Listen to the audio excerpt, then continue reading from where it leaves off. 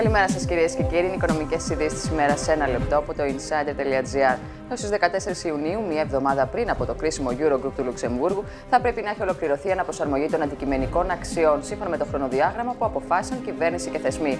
Έτσι, σε λιγότερο από έναν μήνα θα πρέπει να έχει εκδοθεί η υπουργική απόφαση με τις νέες τιμές που θα αποκτήσουν τα ακίνητα σε όλη την επικράτεια και παράλληλα να έχει κρυθεί η τύχη του ένφια που θα κληθούν να πληρώσουν φέτος πάνω από 7 εκατομμύρια ιδιοκτήτες ακινήτων. Οι αυξομοιώσεις που θα υπάρξουν στις τιμές ζώνης θα καθορίσουν εάν θα χρειαστεί να γίνουν παρεμβάσεις στον ένφια για να διασφαλιστεί η βεβαίωση φόρων ύψους 3,2 δισεκατομμυρίων ευρώ. Πηγέ του Υπουργείου Οικονομικών αναφέρουν ωστόσο ότι δεν θα χρειαστούν διορθώσεις στους συντελεστές και τα φετινά εκαθαριστικά θα είναι πανομοιότυπα με τα περσινά. Νέε ανακατατάξεις στο χάρτη του λιανεμπορίου προκαλεί κάθοδος τη βορειοελλαδίτικη αλυσίδα σούπερ μάρκετ Μασούτη στην Αθήνα, μέσω της εξαγοράς της μεσαίας τάξη αλυσίδα προμηθευτική.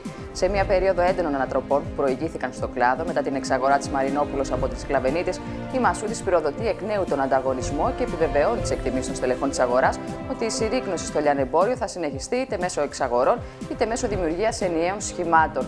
Στελέχη της αγοράς εκτιμούν ότι η μάχη πλέον θα κρυθεί στο ράφι και ο πόλεμος των προσφορών θα φουντώσει εκ νέου. Ήδη για το 2018 οι αλυσίδες έχουν προπολογίσει πάνω από 150 εκατομμύρια ευρώ προκειμένου να πρημοδοτήσουν τις προσφορές τους με στόχο την προσέλκυση περισσότερων καταναλωτών.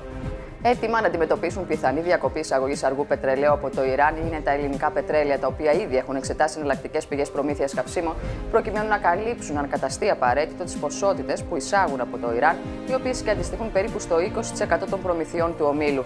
Η απόσυση των ΗΠΑ από την Διεθνή Συμφωνία για το Πυρηνικό Πρόγραμμα του Ιράν, αλλά και η δύσκολη θέση στην οποία έχει περιέλθει η Ευρωπαϊκή Ένωση υπό την πίεση κυρώσεων και κατά ευρωπαϊκών εταιριών που συνεργάζονται με το Ιράν από τις ΗΠΑ, έχουν προκαλέσει αναστάτωση στην διεθνή και ελληνική αγορά.